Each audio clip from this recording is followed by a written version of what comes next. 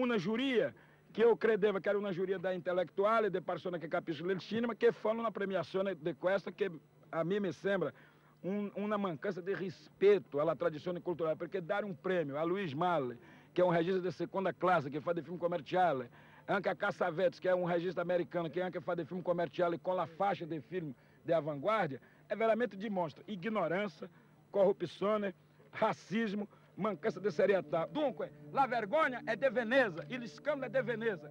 Mas eu não respeito a loro, não respeito niente, porque meu filme é muito superior a questo. Meu filme fala do futuro, de um novo mundo, com uma ideologia, uma linguagem nova. É stato troppo per questo crítico decadente que ama a Luiz Mal, que é tudo com essa merda que está aí.